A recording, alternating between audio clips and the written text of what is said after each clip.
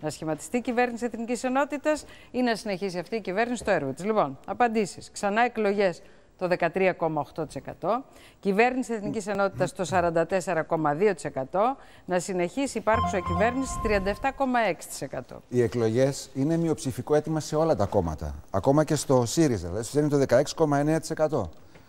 Κυβέρνηση Εθνικής Ενότητας θέλουν σχετικά περισσότερο ψηφοφόροι της Νέας Δημοκρατίας, του Ποταμιού και του Πασόκ και να συνεχίσει η υπάρχουσα κυβέρνηση.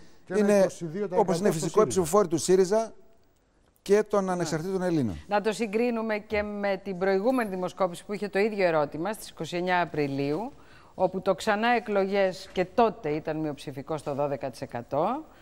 Στο 46,4% ήταν η κυβέρνηση Εθνικής Ενότητας και στο 38,3% να συνεχίσει η κυβέρνησης ναι, του Δηλαδή, είναι δηλαδή, πάγιες οι απόψεις. Πάγιες οι απόψεις. Δεν θέλει ο κόσμος εκλογές. εντολή, αν είναι κάποιος να βγάλει τα κάστανα από τη φωτιά, ας το κάνει η κυβέρνηση. Μάλιστα.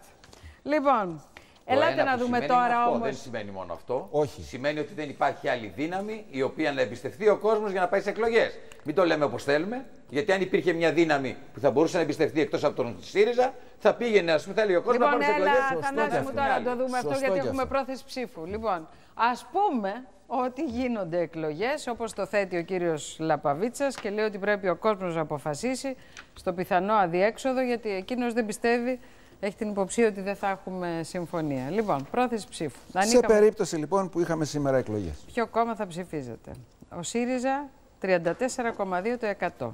Να πούμε ότι στο, εδώ στην παρένθεση είναι τα, τα ποσοστά της προηγούμενης... η προηγούμενη δημοσκόπηση, με τι ημερομηνία την είχαμε αυτή Στην προηγούμενη εκπομπή μας, 29 Τετάρτου... 29 Απριλίου. Ναι. Μάλιστα.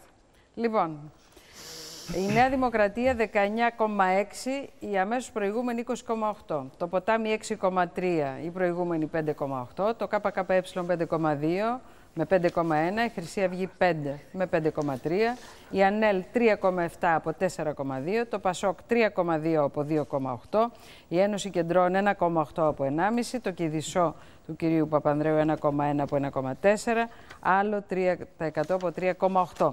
Να δούμε τώρα το διάγραμμα όλων των δημοσκοπήσεων που κάναμε από τις εκλογές. Μεταξύ Νέας Δημοκρατίας και, και ΣΥΡΙΖΑ της δηλαδή. 25ης Βέβαια έτσι όπως τα βλέπω εδώ, είναι, είμαστε σε μια χώρα που έχουμε ένα μεγάλο κόμμα, ένα μεσαίο, πέντε μικρά λοιπόν, και κάποια άλλα μικρότερα. Να δούμε το διάγραμμα που αφορά την πορεία από τις 13 Φεβρουαρίου μέχρι σήμερα 10 Ιουνίου των δύο μεγάλων κομμάτων. Λοιπόν, Έχουμε λοιπόν, ξεκινάμε από 45 Φεβρουαρίου. μισό στις 13 Φεβρουαρίου. Ο ΣΥΡΙΖΑ, ο ΣΥΡΙΖΑ πάει στις 18 Μαρτίου στο 40,2, στις 29 Απριλίου στο κατεβαίνει στο 35,6 και τώρα κατεβαίνει στο 34,2. Καθοδική πορεία. Πάμε να δούμε τη Νέα Δημοκρατία. 13 Φεβρουαρίου 18,4, 18 Μαρτίου 21, 29 Απριλίου 20,8 και 10 Ιουνίου 19,6. Καθοδική πορεία και η Νέα Ναι, ωστόσο βλέπουμε μια επιβράδυνση της πτωτικής τάσης και βλέπουμε και τη Νέα Δημοκρατία να μην μπορεί να καρποθεί. Να μην μπορεί να ανακάμψει. Μάλιστα. Έτσι. Δεν έχουμε σημαντικές διαφορές από την προηγούμενη φορά.